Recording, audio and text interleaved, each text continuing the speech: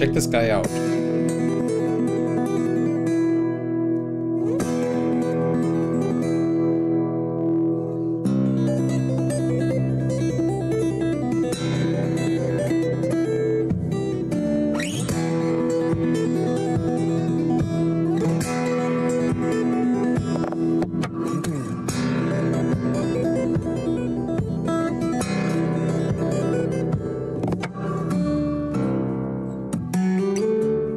Guy is smooth with it.